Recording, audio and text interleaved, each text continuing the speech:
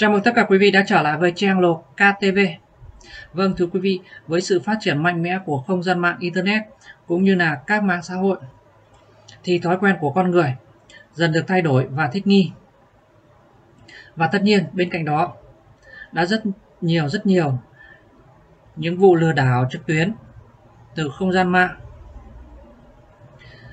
Và người xưa thường có câu hiện đại thì hai điện rồi, thì ở video này tôi sẽ chia sẻ cùng quý vị những chiêu trò scam hay còn gọi là lừa đảo trực tuyến trên mạng Internet đang rất phổ biến hiện nay.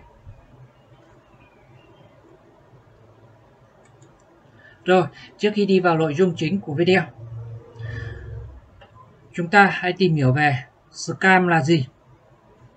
Vâng thưa quý vị, scam là một thuật ngữ trong tiếng Anh được dịch ra là lừa đảo.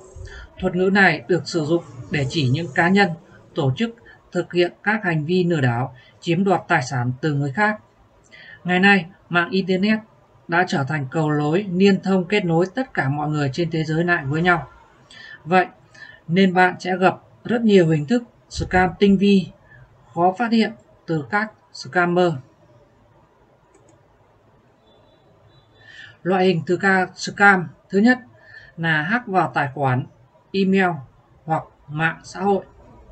Kẻ lừa đảo sẽ hack vào mạng xã hội, địa chỉ email để lấy tên đăng nhập và mật khẩu của một người dùng nào đó đang dùng tài khoản mạng xã hội hay địa chỉ email này nhắn tin với bạn bè của bạn rồi thực hiện các hành vi lừa đảo như xin mượn tiền từ danh sách bạn bè trong danh bạ hoặc gửi những liên kết lừa đảo để chiếm đoạt tài khoản của họ.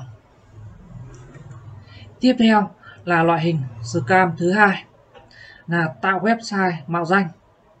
Kẻ lừa đảo sẽ tạo ra một website giả nhưng được thiết kế y hệt như một website nổi tiếng. Sau đó, kẻ này sẽ tiến hành tối ưu SEO để đẩy website giả lên các trang hạng đầu của công cụ tìm kiếm. Kế tiếp, kẻ lừa đảo sẽ sử dụng nhiều chiêu trò tinh vi khác nhau để rũ cho nạn nhân đăng nhập vào website giả bằng tài khoản đã được đăng ký trên website thật.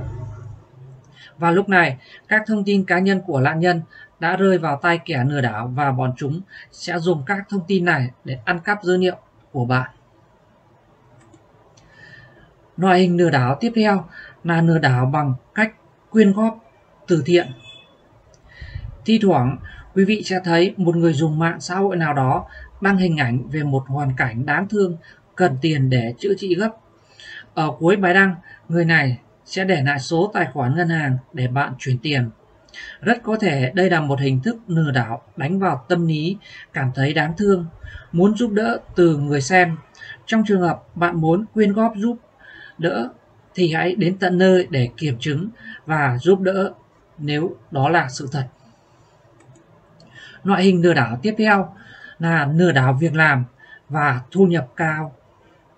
Hình thức lừa đảo thông qua việc làm sẽ lừa bạn chuyển tiền cho kẻ gian thông qua việc chúng sẽ cung cấp cho bạn những cách thức được đảm bảo để kiếm tiền nhanh chóng hoặc một công việc việc nhẹ, lương cao.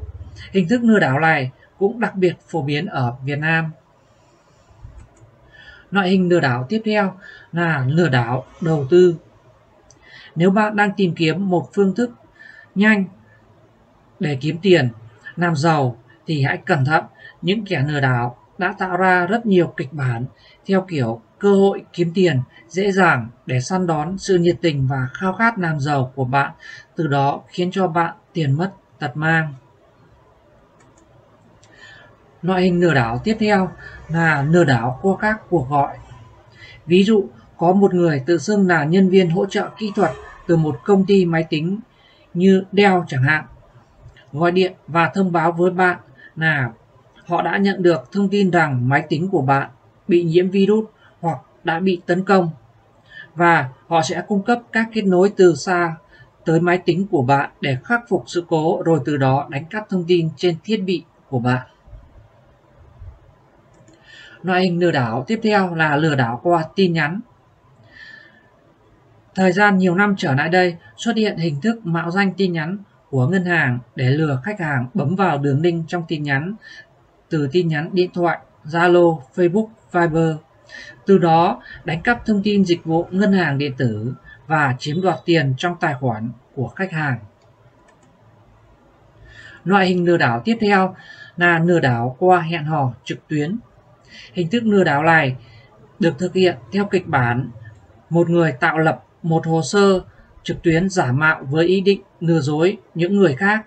Ví dụ, một người phụ nữ có thể tạo một hồ sơ giả mạo trên một trang web hẹn hò trực tuyến, tạo mối quan hệ với một hoặc nhiều người và sau đó dần dần yêu cầu người khác cho mình tiền hoặc cung cấp thông tin cá nhân. Ở Việt Nam, phương thức scam này đặc biệt phổ biến trong những năm đầu mà game online bùng nổ. Thường là một game thủ sẽ tạo một tài khoản trong game để làm quen và lừa đảo các tài khoản khác. Loại hình lừa đảo tiếp theo là lừa đảo qua giao dịch. Bạn sẽ nhận được email, tin nhắn hoặc cuộc gọi từ một người mạo danh là nhân viên của ngân hàng.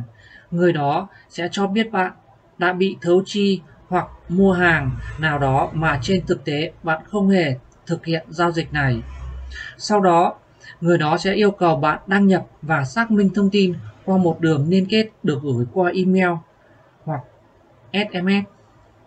Nhưng liên kết trong email hoặc SMS mà kẻ này gửi tới lại đưa bạn đến một địa chỉ website giả mạo chứ không liên quan đến ngân hàng.